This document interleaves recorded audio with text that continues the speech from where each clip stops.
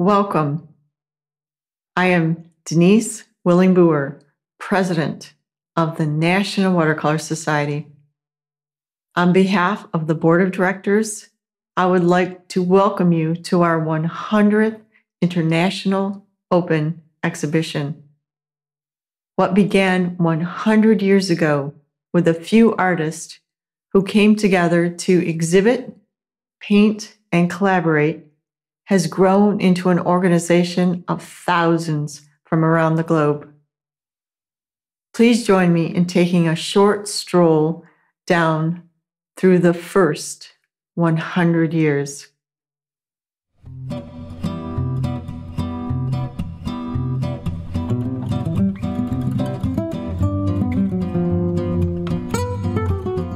Inspiring and promoting water media artists for a century. With an exciting vision and a new appreciation for an old art form, the California Watercolor Society was founded in 1920. As the country grew, painters found inspiration in the expansive western lands and were pioneers of a new spirit. The California watercolor movement can be divided into three segments the energetic, innovative post plein air landscape period, 1920s and 1930s the middle, gestural abstract, tri-mixed media, abstract expressionism lookalike period, 1940s and 1950s, and the later pluralistic US is California, anything goes, drown us in choice period, 1960s to present. To those who still look to the past for art, let this be revealed that we are on the threshold of something very fine and true to America in the work of young artists of the West. To those with vision, this renaissance, this spiritual awakening of art must come out of the virile young people of the West. Henry de Kruif, 1923. Dana Bartlett was the Watercolor Society's first president in 1921, the same year that L.A. Chouinard School of Art was founded by Nelbert Chouinard during what we will call the lively years, 1935 to 1957, Lee Blair to Ed Reep. The society flourished as it innovated, even while a carefully developed system of rules and ethics served as guidelines for each year's art board of directors. Also, special landmark events were held from 1939 to 1942 as an adjunct to the yearly annuals, travel shows, and membership shows. In 1940, the decision was made to raise money and offer awards. In the same year, the first of three biannuals was held in New York's Riverside Museum. In 1947, a progressive move was made to include reproductions in the yearly catalog. Under Rex Brandt in 1948, a grand and lively show of drawings were shown at the Santa Barbara Museum. Jules Langsner wrote in Art News no longer is the Society's annual stamped with endless variations on rocky California coasts and gingerbread houses. Emphasis is upon personal style, upon taking full advantage of watercolor as a medium expressive of the artist's handwriting. An idyllic high point in the watercolor movement was reached in the 1950s. The influence of abstract expressionism was rampant, offering artists a kind of endless challenge to painterliness and personal imagery. With the 60s came a gradual new look at the world. In the society, the compulsion for abstract expressionism persisted among many artists as well as jurors and dominated shows. The 60s produced an angry but therapeutic turbulence that resulted in Los Angeles shaping a new style. National Watercolor Society changed its name twice, 1967 and 1975, in attempts to expand beyond regionalism and add new links to the chain. I don't kid myself. I don't think the California movement is a major one compared to, say, the French Impressionists. But I think it's certainly a little more than regional, in the sense that it's probably no more nor less important than the Midwest regionalists before the war, those painters like Curry, Benton, and Wood. Rex Brandt, Prime Interview, 1979. a new sense of purpose and style can actively unfold in the work of artists of vision and energy that may only become evident through a more insightful look at how the past tells the future. The growing international view, for example, may trigger the establishing of new goals. For starters, in the 1985 NWS Annual, all four of the major purchase awards went to artists from outside of California. This 79th annual will close the century. We can look back to 1921 and all of our hopes and beliefs that watercolor would become an influential and powerful medium. We have lived up to this early promise and have the strength and purpose to bring the new century a stronger, more innovative presentation of watercolor painting. Mary Ann Shader, President, NWS. Looking back over 90 years, many, many changes in painting styles and our precious American culture have occurred. In that time, we have endured wars, the Depression, disasters, and plenty of uncertainty. It was NWS which provided the platform for so many artists to be recognized. But it also brought something else a standard of excellence to which to aspire. ME, Mike Bailey, President. Salute to 100 years of raw, innovative, brave water media painters.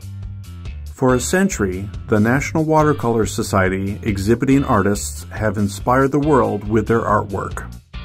Their clothes and tools were different, but the spirit for creating and the passion for water media has remained constant.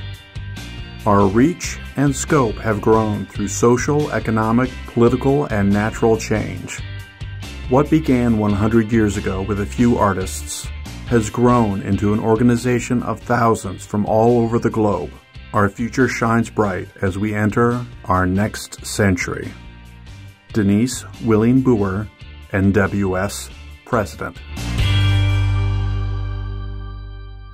It is my great honor and privilege to introduce our esteemed jurors for our 100th International Open exhibition, and they are Katherine Chang Liu, Dean Mitchell, and John Salminen. Welcome. I have a few questions I'd love to have you answer that I know will inspire everyone watching today. The first question is if you could share a little bit about what you're working on currently.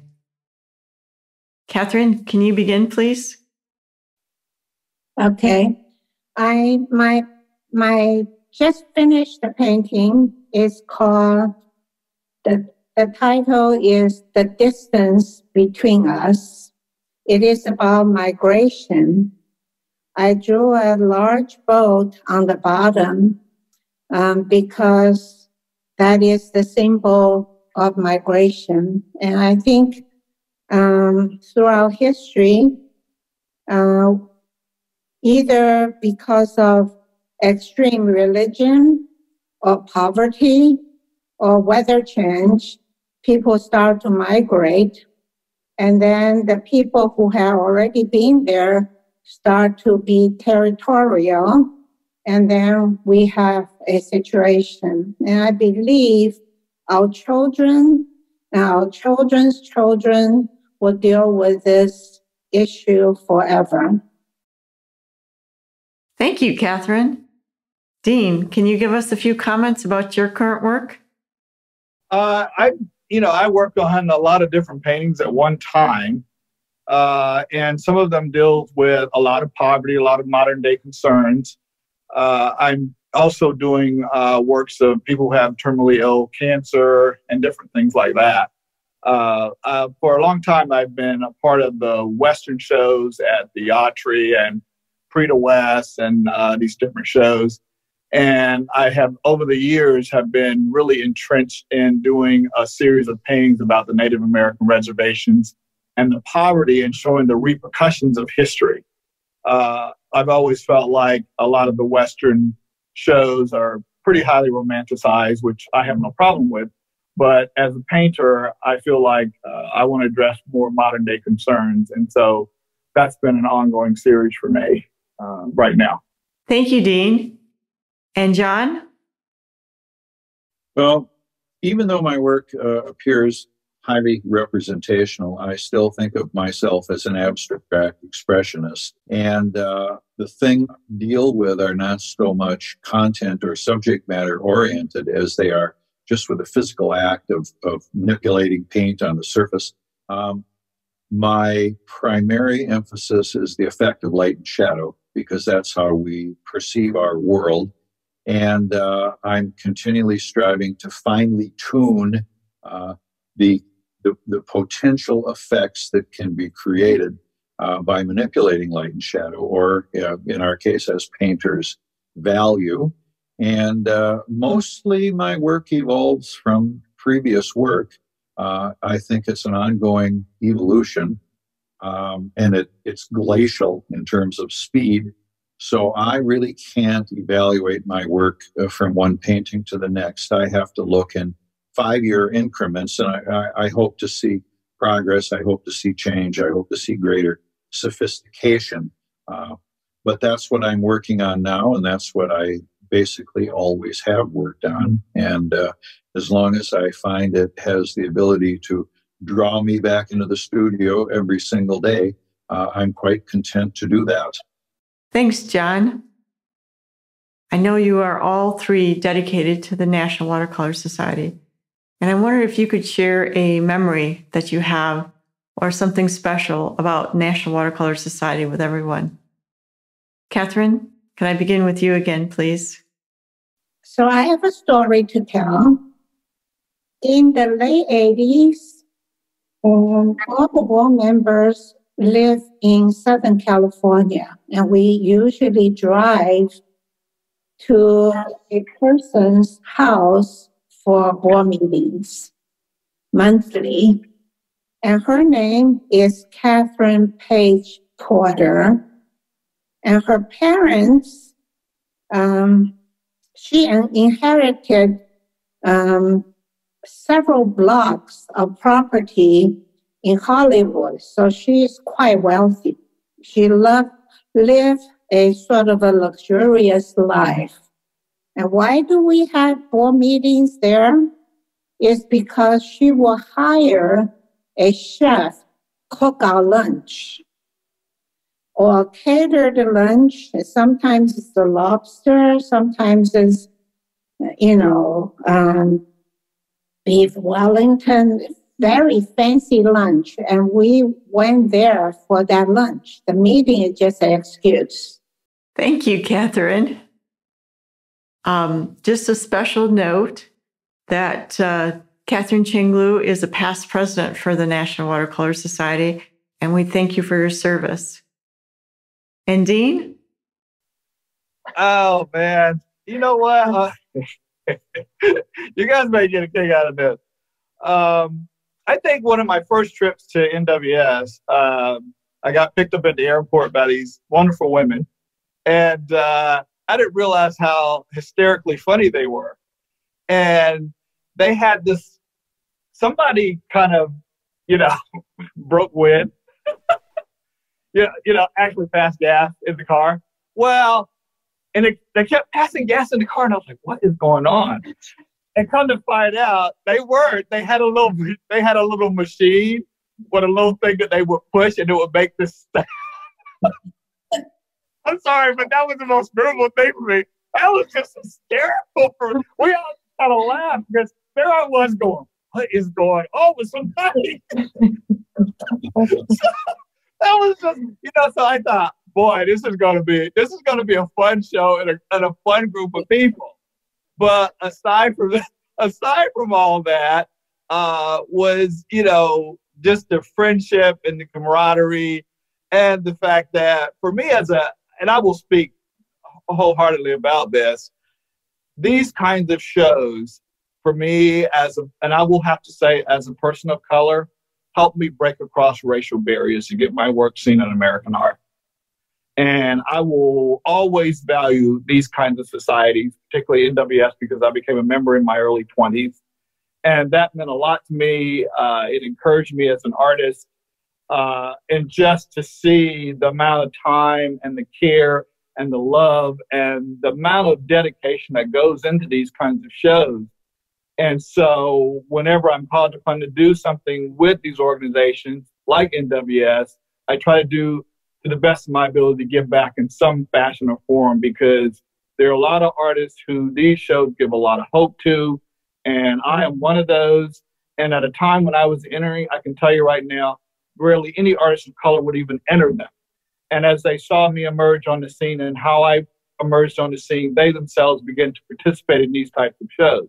So I want people to understand how I feel that these kinds of shows are have been hugely valuable uh, to an art community that is is is is really underserved. We can see that kind of climate that's going on now, and so these kinds of shows have just been really really great. But like I said, aside from that, great people, and uh, I, you know, I just I just had a lot of fun with them. So you know, and meeting a lot of different artists. So it's, it's just been great. I just want people to know that. Thanks, Dean, for all your involvement with us. I know you said you got your signature membership when you were in your early 20s, right? Early 20s, yeah. Probably 22, 20, 23, something like that. Which is yeah. pretty amazing. And also, you do work with underprivileged artists in your community by providing scholarships. I try to give back as, as best as I can and also try to educate people about watercolor. I'm, I'm in a lot of shows out west and I really champion this medium because I think it's it's it's in some ways sometimes underappreciated in a certain group of collector. Uh, uh, sometimes in certain shows, there's just a certain kind of bias for watercolor, and I think that hopefully curators and museums will take a a, a longer, harder look at watercolor because I think it's made the most advances over the last you know decade, twenty decades or so more so than even oil paint. I think watercolor is being used on in so many unprecedented ways, and I think it's high time uh, that it uh, that it takes its place. It's a master's medium, and should be the museum should also honor it as well. So, so NWS is definitely a part of that, a part of that uh, that voice. Thank you, Dean. And John? Well, I feel compelled to point out that much like Dean, I was quite young when I uh, achieved signature membership. I was in my early 50s. Um, there are there are a lot of stories uh, that I could tell. Uh, many of them are uh, more suitable for the bar. Uh, so I've tried to sort through and find one that was possibly more PG rated. Um, several years ago, I had an opportunity to serve on uh, the jury of selection for NWS, uh, along with Carole Barnes and Carla O'Connor. Um, this was back in the day when we viewed slides. So we got together in a dark room, and uh, there were, I think, uh, around a thousand entries that year. Uh, and we looked at 1,000 slides, one carousel at a time. Uh, we had about eight carousels lined up on the table, and we were working our way through uh, carousel seven. We were all getting very, very tired. It had been a very, very long day and uh, we're going voting one slide at a time. The only uh, concession to technology was that we each had the equivalent of a remote control wired up to a board. So we had the opportunity to press yes or no. And uh, a light lit up on the board and our vote was recorded. So we were just approaching the end of the seventh cassette, looking forward to the last and final cassette. When over in the in the gloom, I heard uh, Carole Barnes um, holler the, the S word. Uh, and we all stopped. My gosh, what happened? And uh, Carol, Carol, are you all right? Well, in the dark, uh, she had turned her remote control upside down. And every time she pressed yes, she was in fact pressing no. Uh, and since the technology didn't keep track of our votes, we had no choice but to go over uh, to, to the beginning of that set and start over. And the thing that was really very, very educational to me was I was having a heck of a time remembering how I voted uh, the first time. So I'm glad there was no permanent record of that. Um, that was the first time I had met either Carla or Carol. We are we are fast friends.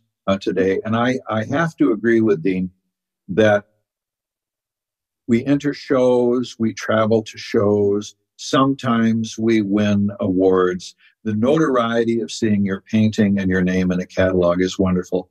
But at the end of the day, um, it's all the people we've met along the way and people that we uh, have called friends over the years. Uh, and, and it's been a dividend that just keeps paying and paying and paying.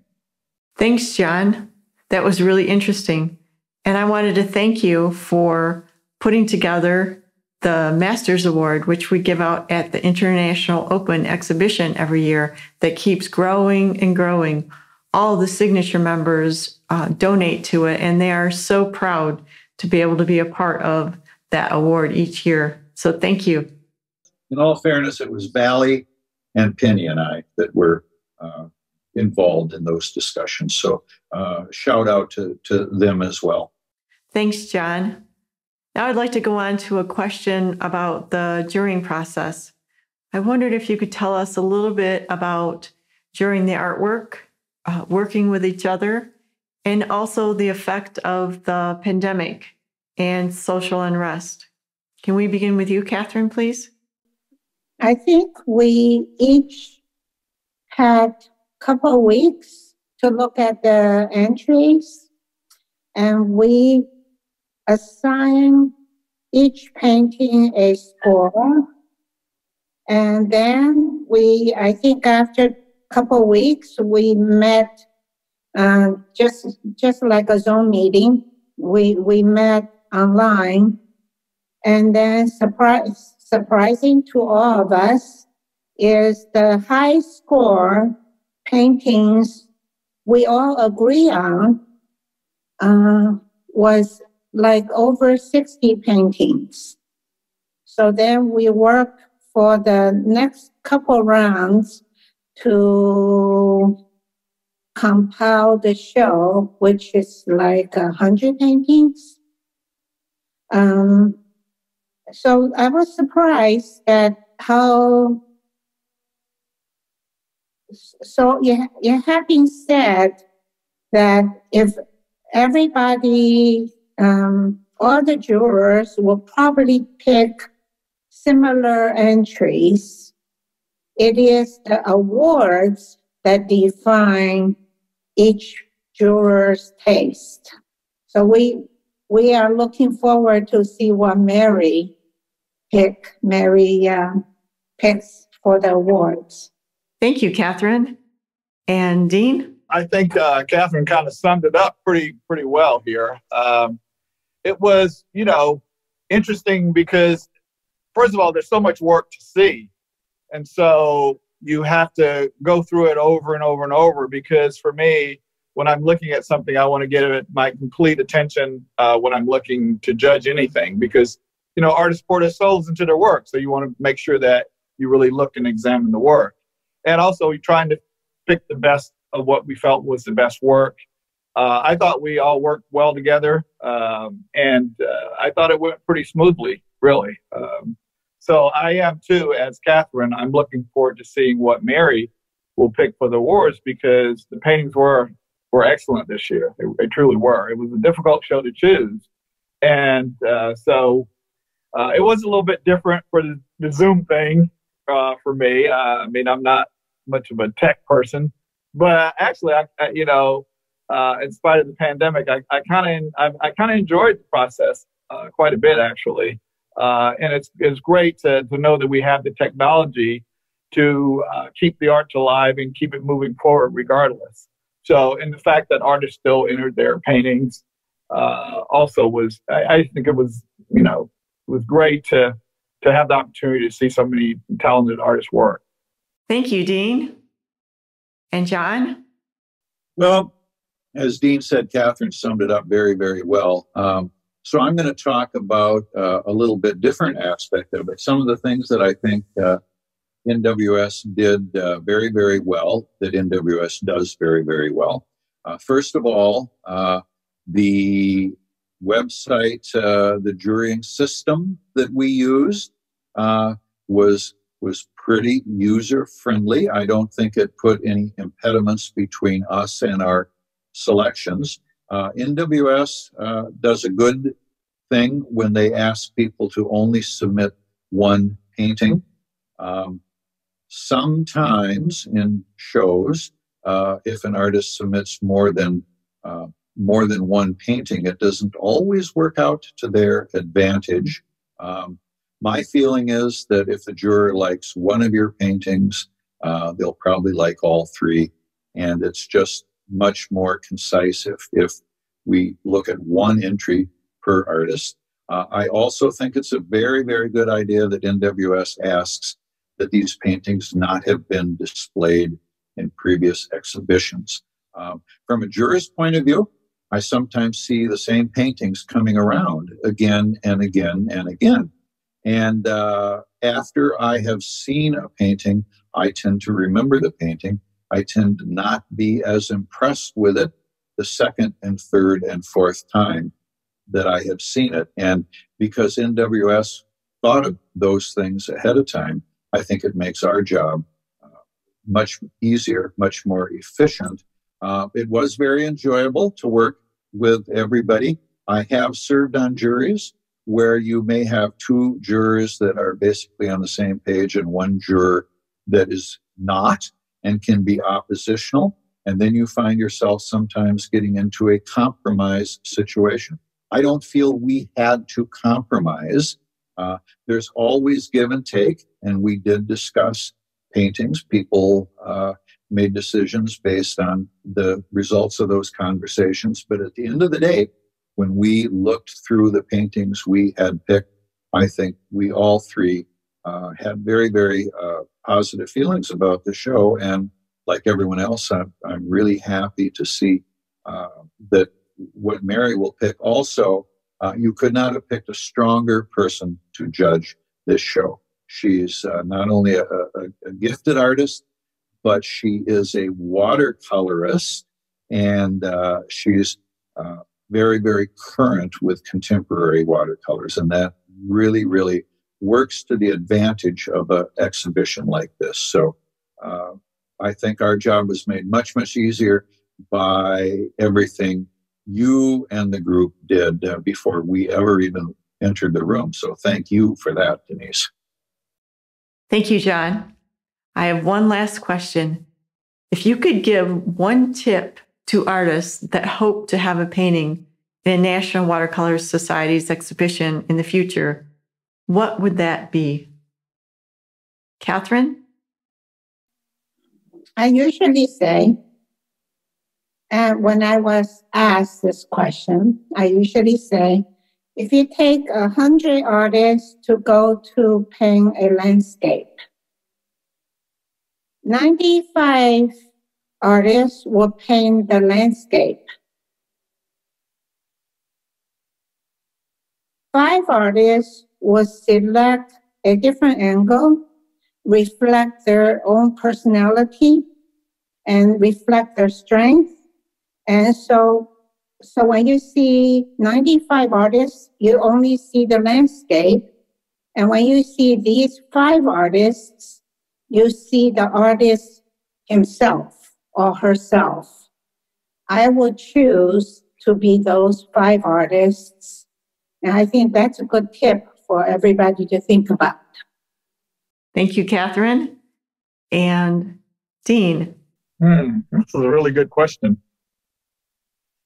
because again, Katherine kind of really uh, hit upon a lot of things that I believe in too. Is that you know, as an artist, uh, finding your own voice is is is really challenging when there are so many works that look similar in, in terms of from workshops and things like that. I think that those kind of things are, are great in terms of uh, showing you how to manipulate paint. But then I think that there, for me, I know that the way I grew up and, and my own sensibilities about the world is what attracts me to a space. And so the way you see that space and how you interpret that space is a very personal thing. Uh, and so I think that uh, looking at something, you know, when I go out to, to look at anything, I look at it from all kinds of angles. And I'm constantly looking for uh, my own personal connection to the space, aside from looking at the way light hits something, the abstraction of something, but I'm also looking at, you know, how I can move somebody into that personal space of mine through my own vision from what I see uh, from the real world. And I said, and so I think that bringing your own interpretation of something uh, will separate you from a lot of artists, and, and people will recognize that voice. They will recognize your hand, and not just a technique. Thank you, Dean. And John? Well, I agree with everything that has been said thus far. I would also like to add, uh, from my point of view, uh, when you go down in your studio to paint, forget about NWS completely. Put it out of your mind. Uh, don't ever paint for a show uh, or don't ever paint for a particular juror. Uh, you can only paint for one person, and that is for yourself. I think one of the things that these national shows do, because people ask me in workshops all the time, should I be out there entering shows? Um, why, why should I do that? Because it costs money, et cetera, et cetera. What I tell people is uh, instead of uh, making a New Year's resolution to lose weight, uh, say, I am going to enter six shows this year, uh, and then pick the shows. And uh, don't feel that you have to start small and work large. I, I believed right from the start that, that what you want to do is begin to compete at the area where you most want to succeed. So don't be fearful of, of entering what uh, seem to be very large, prestigious national shows. Once you have picked your six, be aware that during the course of that year, you are going to need to pick six exhibition exhibition worthy paintings. That way, uh, the threat of these looming shows will force you to go in the studio, even on days when you might not feel like doing it. And oftentimes, those are the days when something uh, significant happens. And then, when it comes time to select which painting you wish to submit, um, just line your paintings up and do exactly what we do on the jury, exactly what we do as judges, and say which one of these is the very best.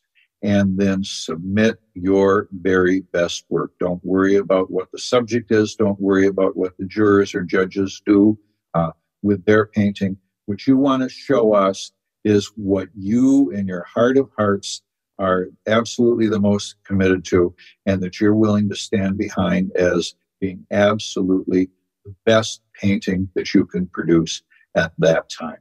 Knowing that the more you do this, uh, the better and better your paintings uh, will become. And that way you use the shows to improve. And uh, everything that comes after that is just a bonus. If the painting gets in the show, wonderful. If the painting gets a prize, even better. But realize that that means uh, very little compared to your personal growth. Um, there's a story Frank Webb tells, and he said that you know, a couple of stories. He said that jurors uh, and marriages have this in common in that I'm always astounded at the choices some people make.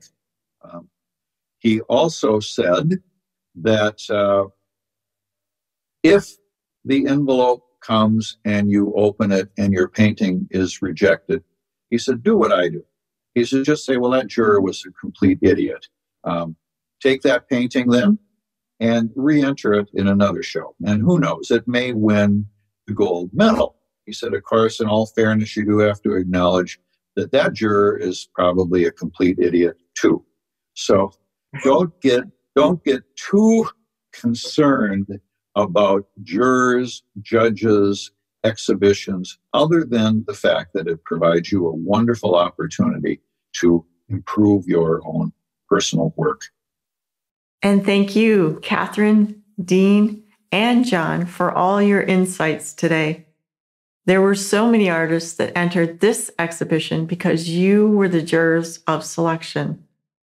We all look up to you because of who you are as artists your innovation, your mastery in your excellent work, and your promotion of water media.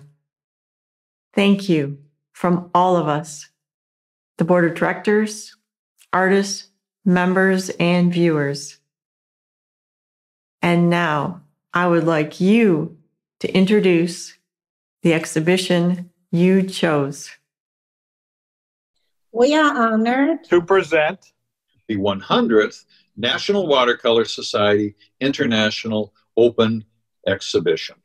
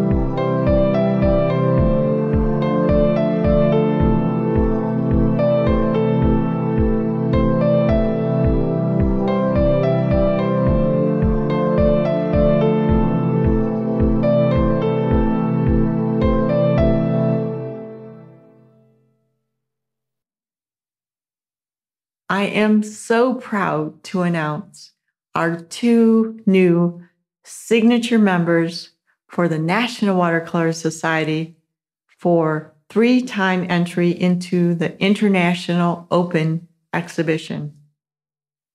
The first artist is Liang Yang.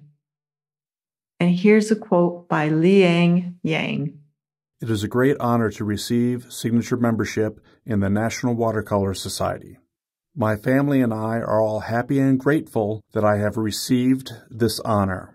Becoming a signature member of the National Watercolor Society to me means that my watercolor painting has been recognized by everyone, and it makes my connection with everyone closer. I will cherish this very much. To honor this award, I will draw and paint more good works to give back to the society and the world for their love to me. This is the happy harvest that watercolor painting brings me.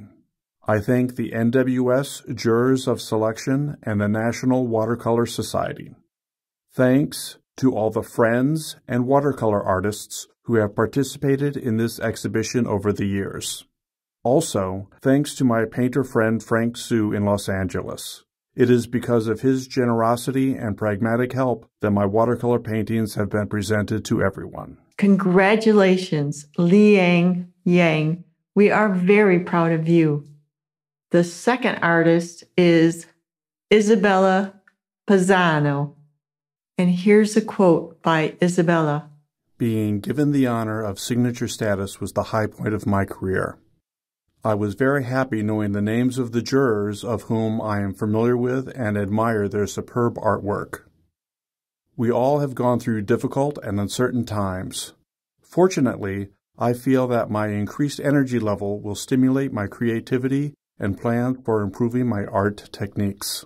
Congratulations, Isabella. We are so proud of you. There's another way to get signature, and that is by entry into the International Open Exhibition. You can send in three additional paintings, and the jurors of selection jury you in to become a signature member. This year, because of COVID 19, that is on hold.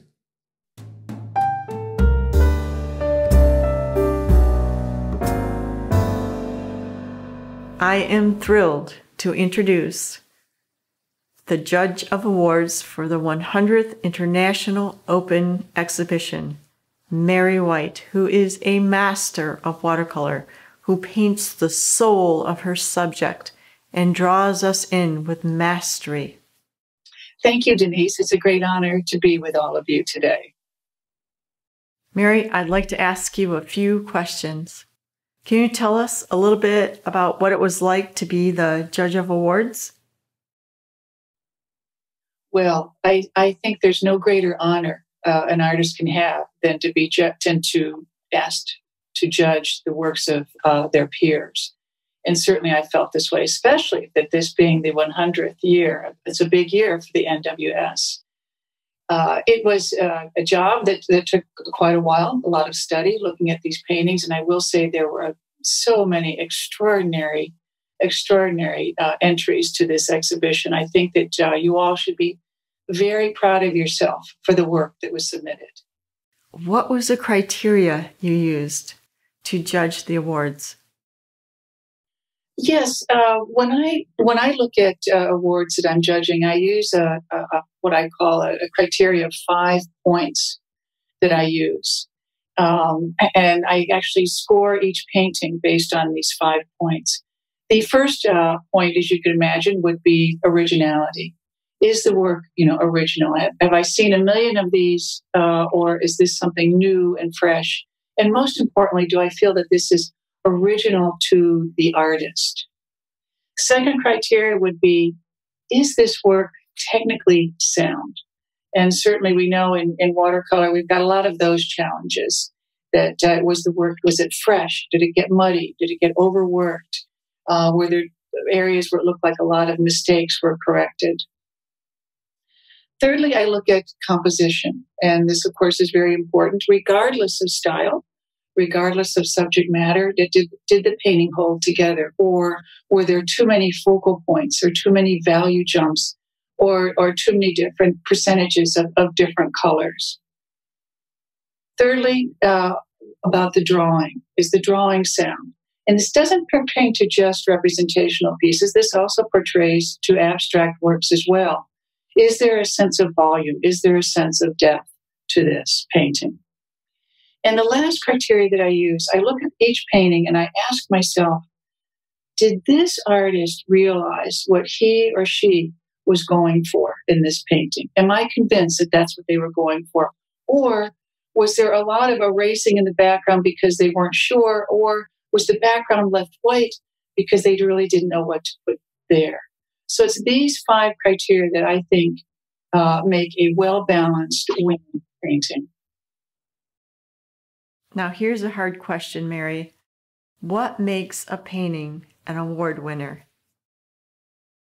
Uh, well, I, I, think that if I could give uh, artists just one tip on what makes a painting an award winner, you know, it's a painting that stands out. It's a painting that uh, rises above of, of the crowd, and, and saying that you know that there is um, that the painting. Let's assume that the painting is is technically sound but what makes a painting a true attention getter, award winner, is something that it, it, that painting is unique to you, the artist. That you, as the artist, you know what is essential to you, and if this painting is unique to you, it is guaranteed that it will stand out above the rest.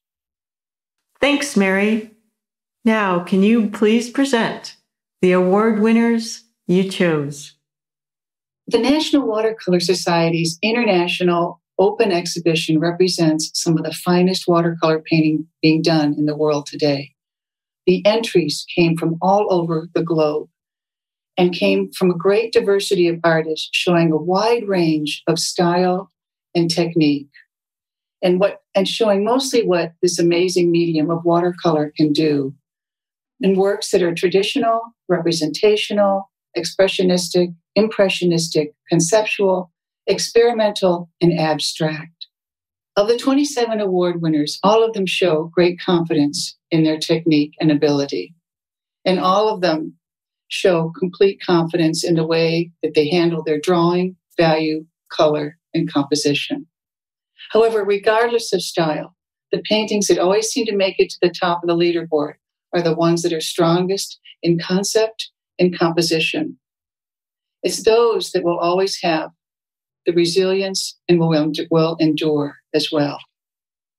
The works in this year's exhibition, this very important year, all are exuberant in their inspiration and in their style and show the great spirit of just what watercolor can do. I'm very proud to show to you the award winners and to announce them to you.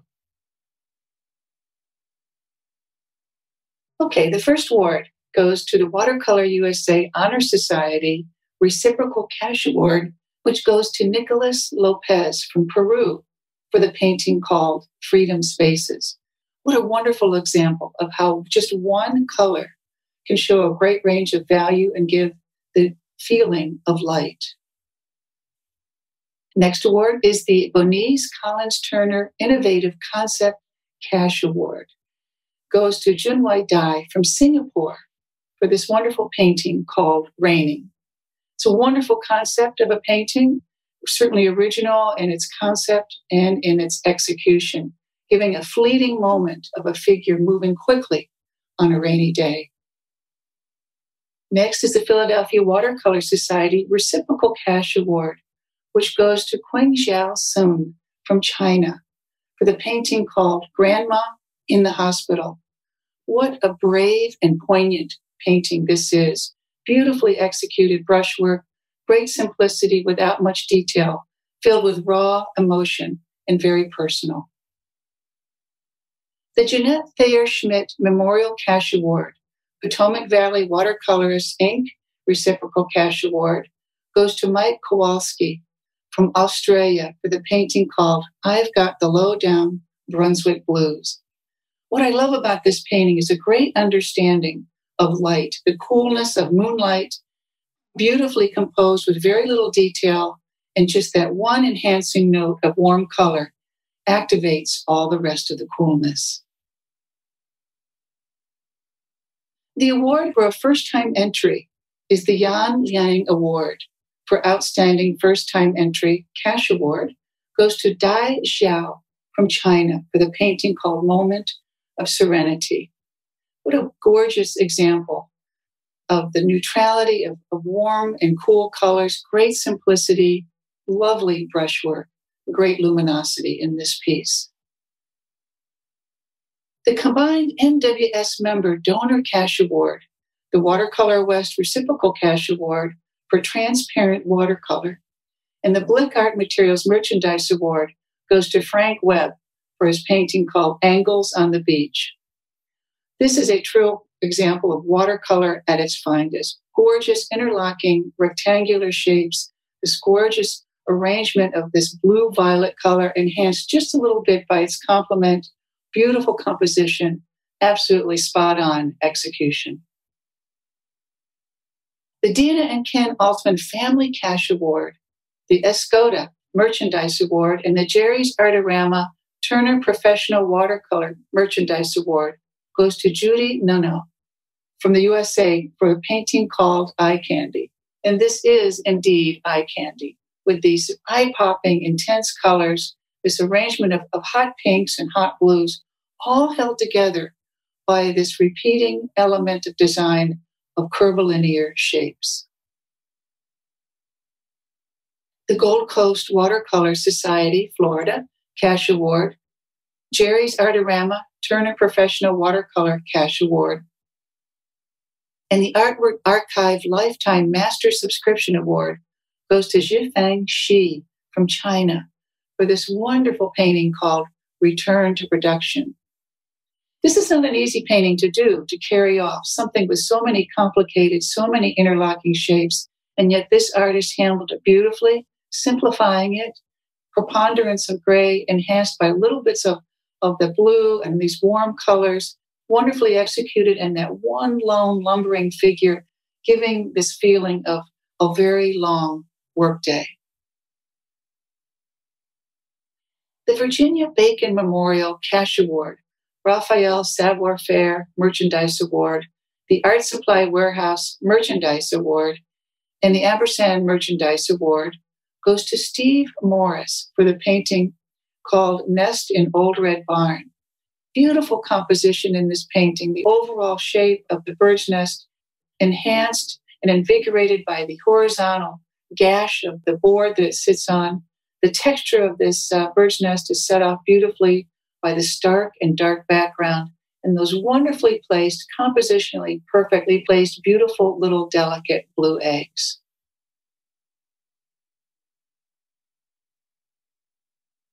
The Beverly Willing Memorial Cash Award for a watercolor with no acrylic or ink. And the Cretacolor Savoir Faire Merchandise Award the Blue Artist Marketing Annual Merchandise Award, and the En Plein Air Pro Merchandise Award goes to Christine Misencic or Misenkik Bun of the USA for her painting called Selfie. And pardon me, all of you artists, if I mispronounce your name. We will see your names on screen and we all know who you are and your wonderful work. But Christine's work is called Selfie for this unflinching self portrait, beautifully done, beautifully rendered, and earnestly seen. The combined NWS member donor cash award, the Pennsylvania Watercolor Society Reciprocal Award of Excellence, and the Artwork Archive Lifetime Master Subscription Award goes to Pasqualino Francasso from Italy for this painting titled Work in Progress. I love the brevity, the suggestion of this marvelously executed painting these washes, just this hint of subject matter and detail, and how the painting moves from the coolness, big washes on the left, over to the warmth and staccato points on the right. The Henry and Fujiko Fukuhara Memorial Cash Award, the Blick Art Materials Merchandise Award, and the Kanuga Water Media Workshops Award of Excellence Merchandise Award goes to Jai Guo for the morning berries. Jai is from the USA. This is a beautiful, elegant painting showing a great light on form, the way these leaves catch the light and get almost burned out, and the beautiful hint of circular light forms in the back and that gorgeous linear diagonal shape all come together for a beautifully executed painting. In salute to the NWS Board Cash Award, the painting called Autumn Thoughts by artist Zhai Qian from China. Obviously, this is a nod to Gustav Klimt. It's a contemporary rendition using the, the image of a figure against the abstracted shapes of background. I love the coolness, the sensual skin of the model, and as she is, is foiled beautifully against the glimpse of gold leaf shapes behind her. In honor of Jean Grastorf Cash Award goes to Yao Xiao from China with a painting called The Little Girl in the Car. What a beautiful, fleeting moment this painting represents. The gorgeous, pristine, innocent quality of this little face looking through the windshield, surrounded by the murkiness of these grays, soft edges, and the, just a glimpse of the older face in the upper left. The International Society of Experimental Artists, the Reciprocal Cash Award for Experimental Art, the Holbein Artist Materials Merchandise Award, and the Issa Isabey Savoir Faire Merchandise Award. Frame Destination LLC Merchandise Award goes to Brent Funderburk from the USA for the painting called From Who I Am to Where I Am Going. What a lovely surface quality this painting has, these puddling, merging shapes, and how interesting this is that the upper portion of this painting almost pure black and white, and how it merges down into that intensive pop of color of the iris below. The NWS Past President's Cash Award, the M. Graham and Company Merchandise Award, and the Creative Catalyst Productions Merchandise Award goes to Cody Heschel from the USA for the painting What Once Was Home. What a beautiful arrangement, composition, of rectangular shapes balanced by the curvilinear shapes of the trees, and how the beautiful luminosity of this neutral color sky permeates the color everywhere. And I love that note, that warm, one singular warm note of color in the upper left window, which adds a personal narrative to this piece. The Harriet and Arthur L. K. Memorial Cash Award, the Dixon Ticonderoga the Meimer Kansen Princeton Merchandise Award, and the Holbein Artist Materials Merchandise Award. The Baffin Blue Artist Marketing Annual Merchandise Award goes to Charles Rouse from the USA for the painting Arrival. Beautiful composition, well balanced, large spaces composed and contrasted against the smaller shapes. Lovely understanding of light on form and the beautiful interlocking shapes all combined to make a very successful painting.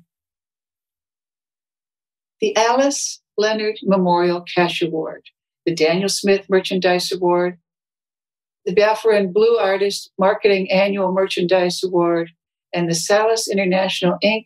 Dr. P.H. Martin's Merchandise Award goes to Scott Honamoni for his, from the USA for the painting MNP.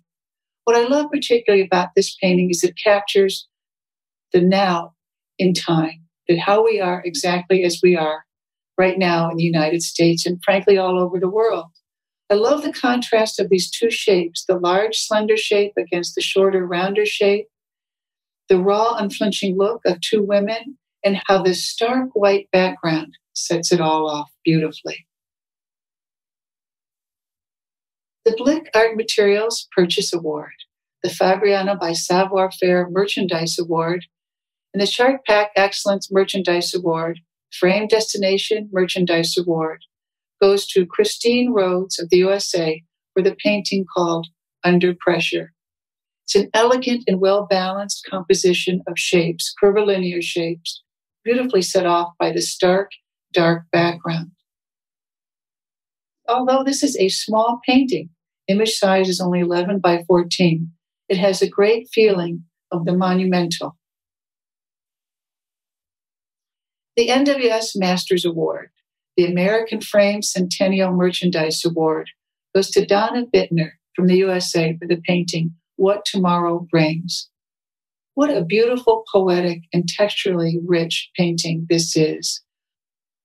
I love the almost experimental way that this was done, the push and pull of texture, putting down, taking off, and the beautiful balance of the dark uh, bird in the upper compared with the white dog below, how they balance and complement each other so beautifully. Stan Green Arts and Education Purchase Award for coastal, performing arts, or architectural subject from the Oregon Council for the Arts, the Master Pack Merchandise Award, and the Hall Mule Gift Certificate Merchandise Award goes to Frederick Graff of the USA for the painting called Neglected.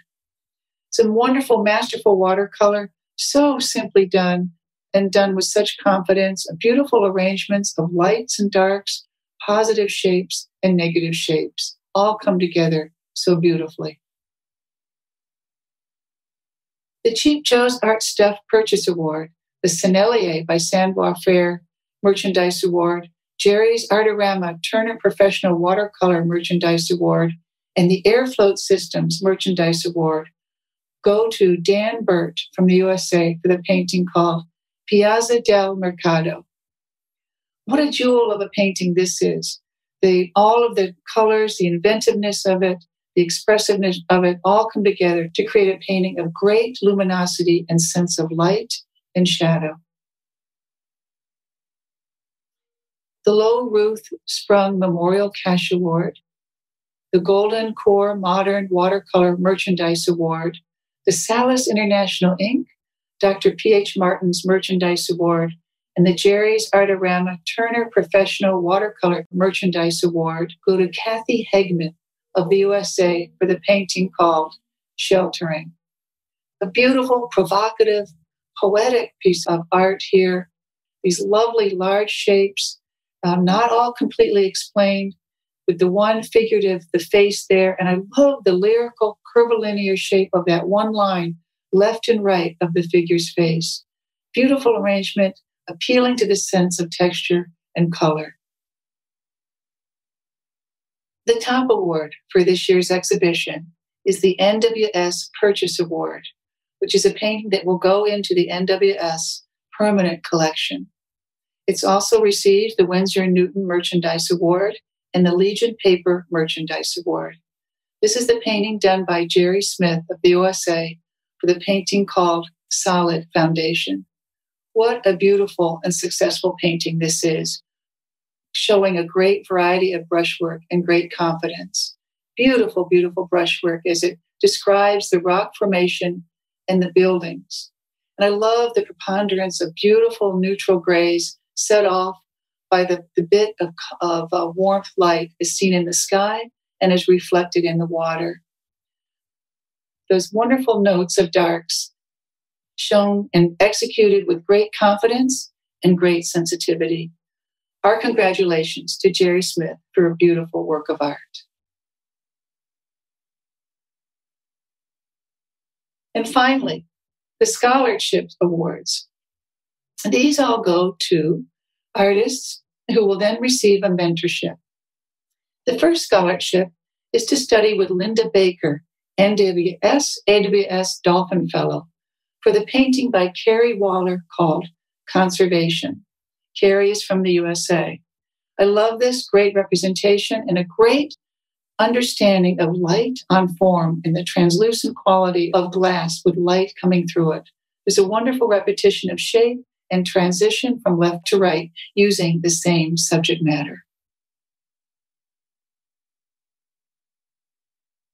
The second scholarship is with Kathleen Conover, NWS, AWS Dolphin Fellow, to artist Sue Kaum from the USA for her painting Unconscious Sentiment. What a gorgeous and rich abstract painting this is these large converging shapes, so beautifully done, so beautifully expressed, all counterbalanced by the lyrical line and color. And lastly, the last scholarship is with Janine Galitza, the International Artist Director Art of Watercolor goes to Tan Sus Chiang from Malaysia for the painting called Exotic. This is a real gem of a watercolor. These gorgeous interlocking shapes, every them, the nuance of color in this, if you put your hand over any one of the colors, the painting wouldn't work as well. So beautifully composed all together and harmonious. And I love the delicate horizontal lines and way they activate the larger masses. If I had to pick three paintings that I think best exemplify the National Watercolor Society's uh, work, I would say it would be these three paintings. The painting by Carrie Waller, Sue Cowan, and Tan Sus Chiang. The one is very representational, the one is purely abstract, and the other one is it shows watercolor and how its simplifi- simplification of shapes and luminosity is watercolor at its truly the best. Thank you for allowing me to be your juror of awards for such an esteemed society. It's been my great pleasure. Thank you, Mary. Special thanks to our juror judge team of Katherine Chang Liu, Dean Mitchell, John Salminen, and Mary Whyte, who have made a difference today by inspiring us all with their words of wisdom and their mission as an artist. Thank you. Join me in thanking my fellow volunteer board members for their dedication to the National Watercolor Society. They put their brushes down to make our centennial year a success. Matthew Bird, Vice President, Newsletter. Judith Zilo, Secretary. Nancy Swan, Membership Director. Penny Hill, Exhibition Director. Paula Fiebig, Development Director, Awards. Beatrice Troutman, Publicity Director. Judy Saltzman, Webmaster. Kathleen Mooney, Treasurer. Stephanie Goldman, Education Director, Special Projects. We are very grateful to our special volunteers, Ron Miller, Joseph Sabiri, Shanthi Kumar, Vali McDougall, Fran Wood, and Diane Jincherik who assisted the board this year. All the past presidents, including immediate past president Robbie Laird, past board members and volunteers that paved the way through the century. NWS Gallery Director Louisa McHugh, who runs our gallery in San Pedro, California the Morris A. Hazen Family Foundation. Our hats off to our sponsors and donors who helped us award the best of the best in a grand way, even though they faced hardship during COVID 19 and social unrest. Please support them with your patronage. Mary Whyte's inspirational presentation on her life as an artist and her artwork will follow this 10 minute intermission.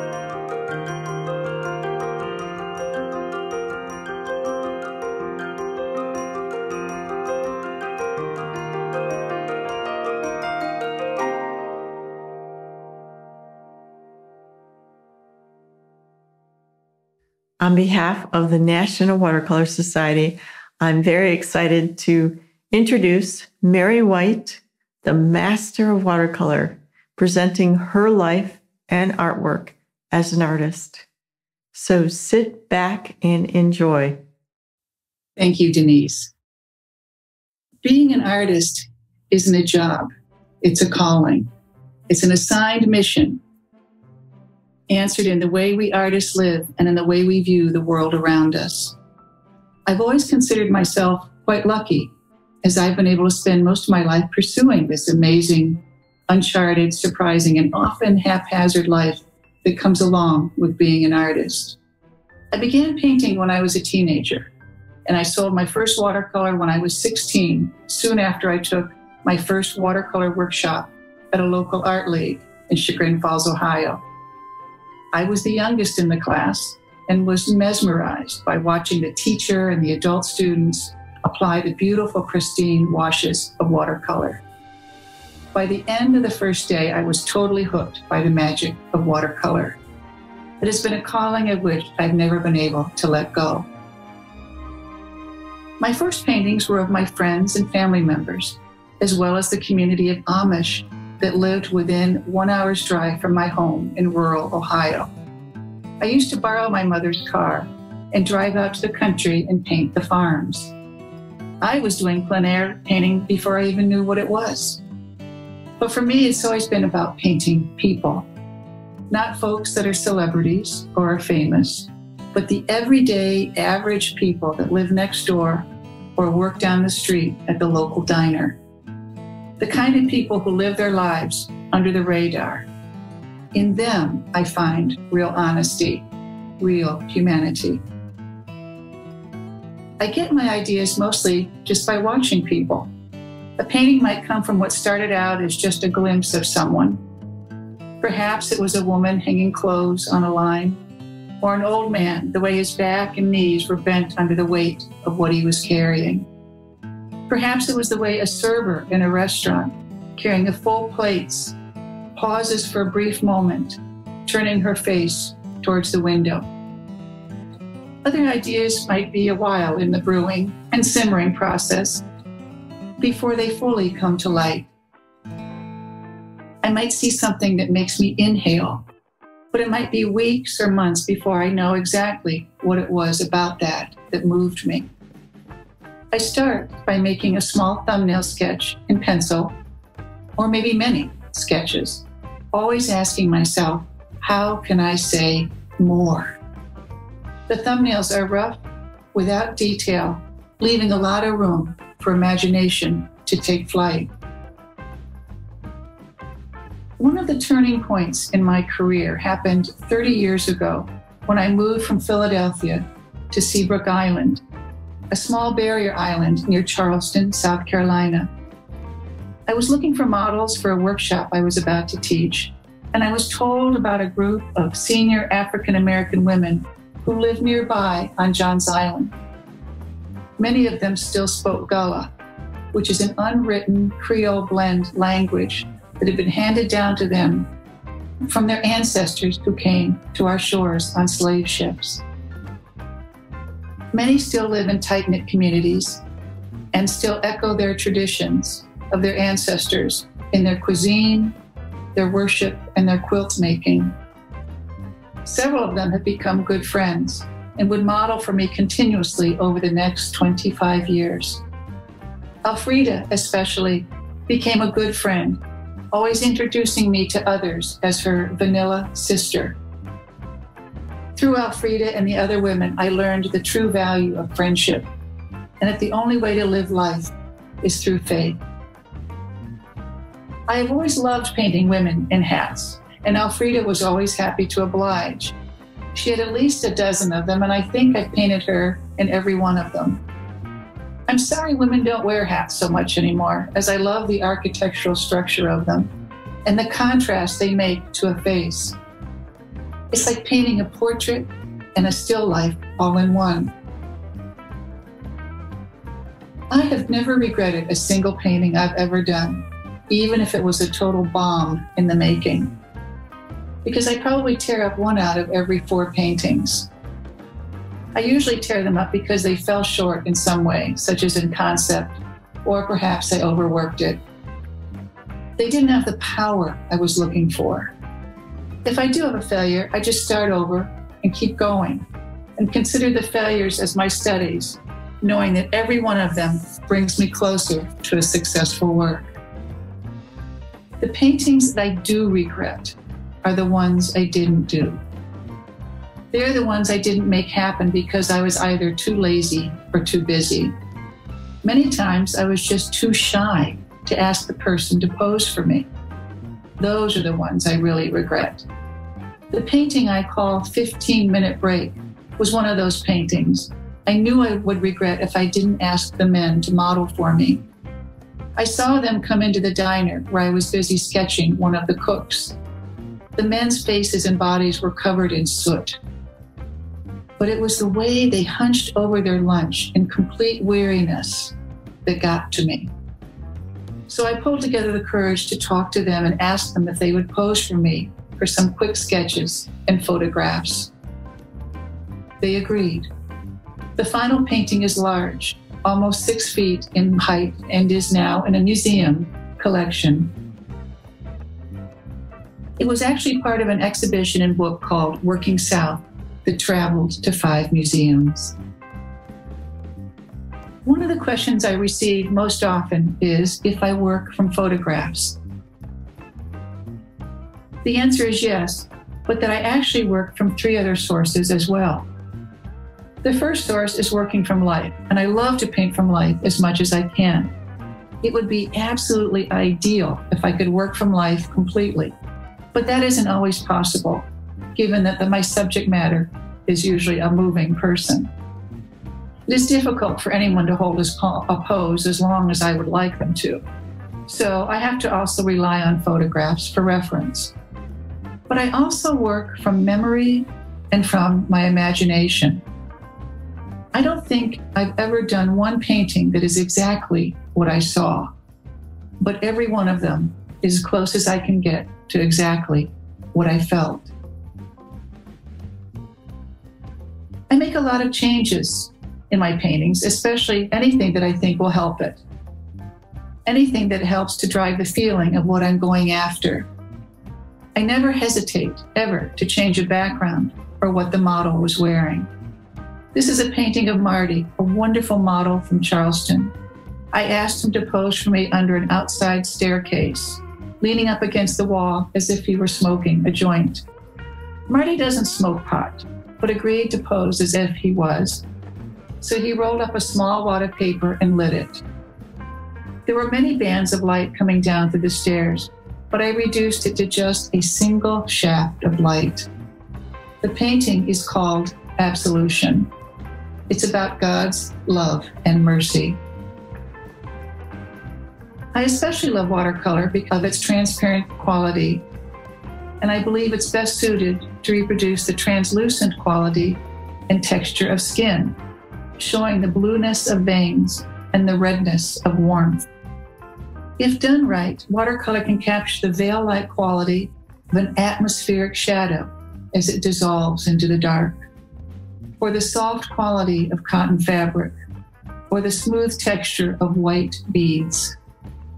The tiny details are just small shapes each with its own light, middle tone, and dark. What we are all painting then, no matter its size or texture, is light on form. As much as I love painting the details, I save them for last, as it is necessary to get in the background and the biggest forms first. You have to bake the cake before you can decorate it. Watercolor is timing. In fact, it's the only medium that relies strictly on timing, which is what can make it so challenging and frustrating at times. Areas with soft edges must be applied quickly, wet into wet, timed to the second. Hard edges rely on waiting for the area to be completely dry.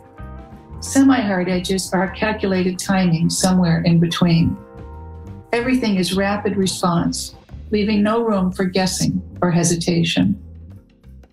John Singer Sargent described watercolor as making the most of an emergency. I liken watercolor to riding a bicycle downhill during rush hour backwards. You just hope you've timed the traffic light correctly. I start all my paintings by drawing directly on the paper using a number two school pencil. In my drawing, I focus on shapes of values, meaning I look for the light shapes, the middle value shapes, and the dark shapes.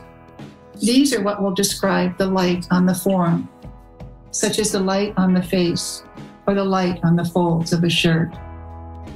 I start painting using my largest brush, which, depending on the painting, can be as large as the brush a house painter might use. I start by tackling the largest shapes first, leaving the details for last. Backgrounds are painted in first or early, as they set the stage and are usually one of the biggest shapes anyway. As I paint, I try to paint one thing into another, such as the head into the background or neck into the shoulders. The brushes I use are mostly are round Kolinsky's or a wide flat. I also use a cat's tongue, which is a one and a half inch wide brush made of squirrel hair,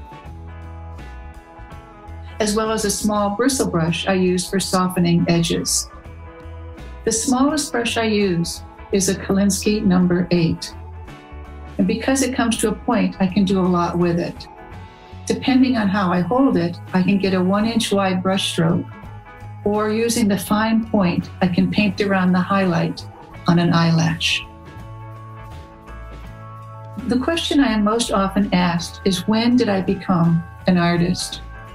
It's an inquiry I've never been able to answer fully, as becoming an artist is a lifelong endeavor. It's both a mission and a gift, with our North Star being a preordained set of preferences that is ours alone. Our job is to reach for what is truest in us. We may learn the nuance of color, hone our drawing skills, and persevere our way to achieve a certain level of expertise. But we don't choose our style or our subject matter any more than we choose a preference for a particular flavor of ice cream. This remarkable gift of art is something I can't explain any more than how I ended up on a barrier island in South Carolina painting a group of African American women, or how I ended up in Oregon painting a firefighter, or in New Orleans painting a man reading a newspaper at the Cafe du Monde. Art chooses us. I once read a statement from an artist who said, Painting is like throwing a ball against a wall. You have to throw it hard for it to come back hard. What the artist was talking about is the emotional power of work. I have since learned that viewers don't have to know your subject matter in order to understand the concept of a painting.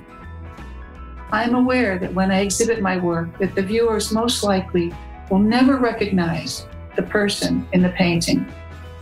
But my hope is that they recognize the emotion. Art is not what others feel, but it is what you feel primarily.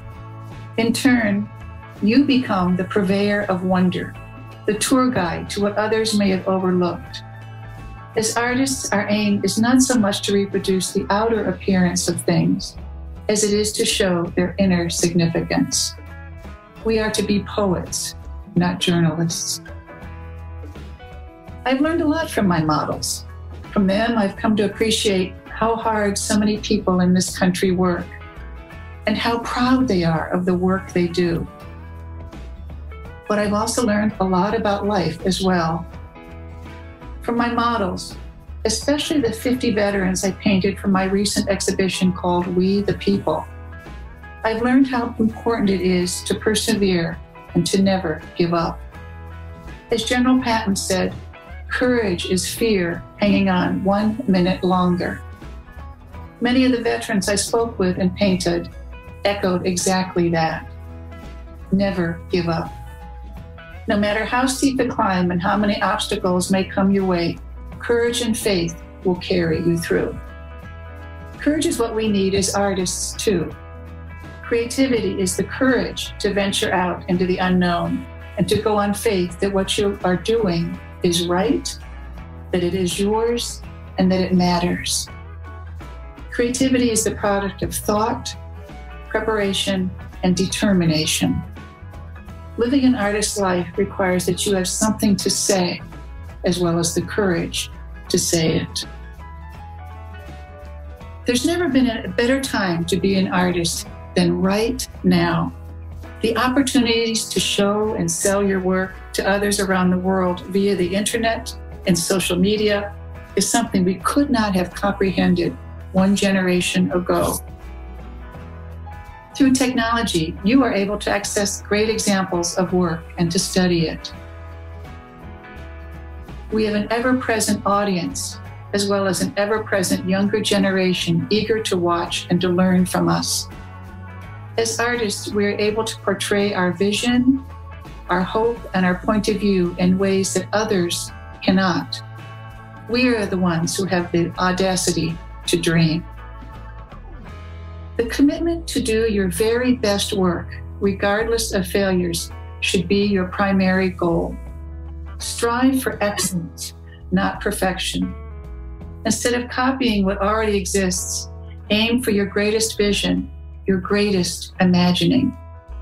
Do not be stifled by what you perceive to be your deficiency of skill, for there is great freedom in ignoring the exact. Not worrying about being absolutely perfect will give you the freedom to grow without feeling badly for when you fall short. Gain excellence by studying the work of the masters and fill your mind's eye with what you deem to be truly fine work. Emulate techniques and procedures until you amass a large vocabulary and are able to say anything you want. Analyze the vision of others and yours sign up for classes to learn even more.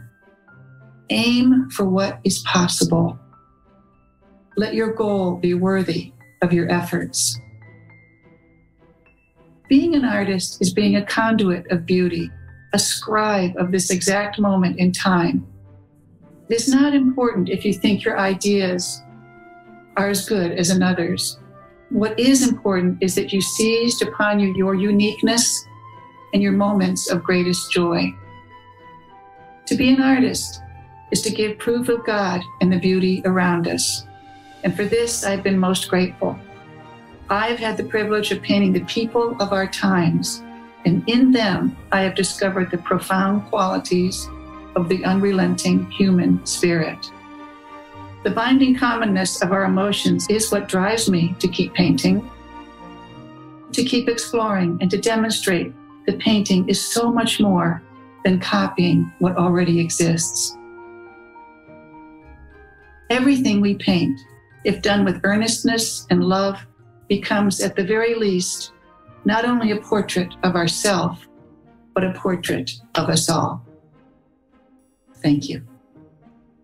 Thank you, Mary, for sharing your heart as an artist and your magic of watercolor with us we will take that with us as an inspiration from all our viewers and our members, artists, and board members. Thank you. We appreciate your patronage, membership, and support of the National Watercolor Society, a powerful water media organization that is 100 years strong. Thank you. For more information on the National Watercolor Society art, artist, and membership, please visit our website, online gallery, YouTube stream, and our social media. National Watercolor Society has inspired the world for 100 years and will be a beacon of artistic light for the future. We, the members, are the National Watercolor Society. We stand together 100 years strong.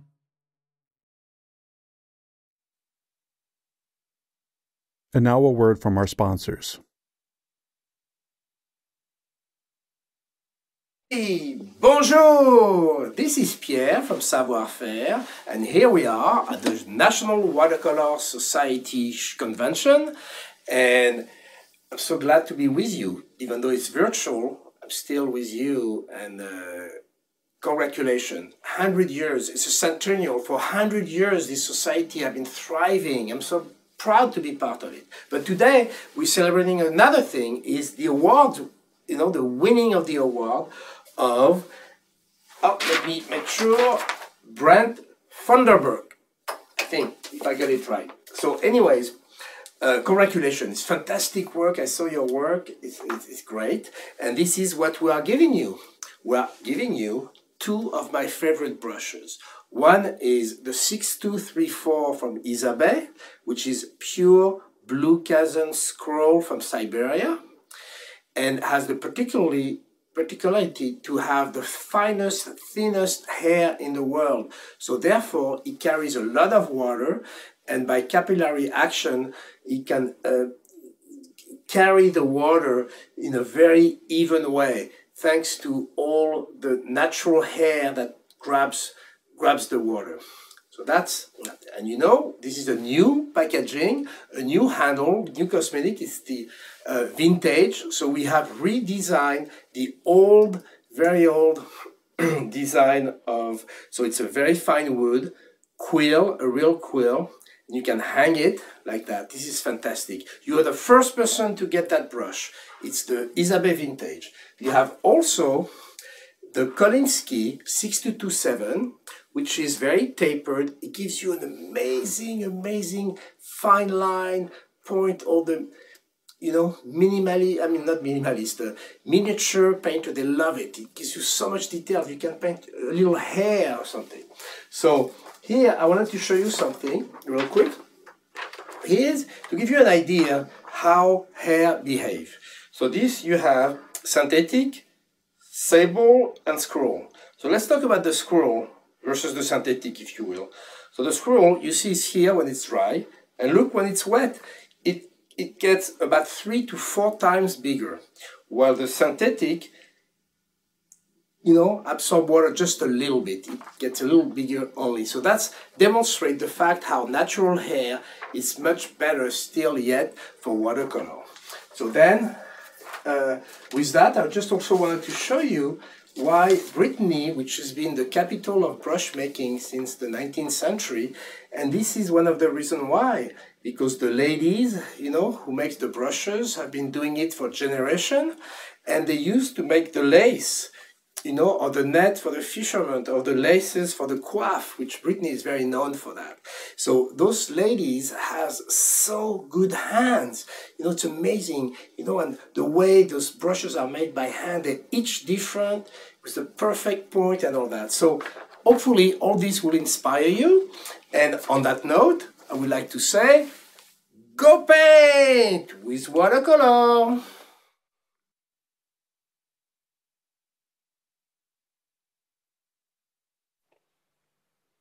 Hi, watercolorists! Artwork Archive here. To succeed as an artist, you need to be an entrepreneur, a marketing professional, a sales expert, an inventory manager, and so much more. Let Artwork Archive help. We make managing the details and promoting your work quick and easy so you can spend more time creating art. Artwork Archive is an online suite of business tools that allows artists to organize their inventory, track sales, and share their art with buyers. In today's world of online everything, it's paramount to move your art career online. Luckily, we've been at this for over 10 years, so I've perfected the platform for you. How has Artwork Archive helped artists around the world? We can get organized with our online tools. From contact and sales management to location and provenance tracking, Artwork Archive gives you the tools you need to be a professional artist. Track everything from your exhibitions to expenses to artist statements. Grow your business with an easy to use platform. Impress galleries and buyers with beautiful and consi- consistent consignment reports, gallery labels, invoices, COAs, and more. Invite clients to a VIP private room of curated works. Get paid faster with online invoicing and payment processing with PayPal.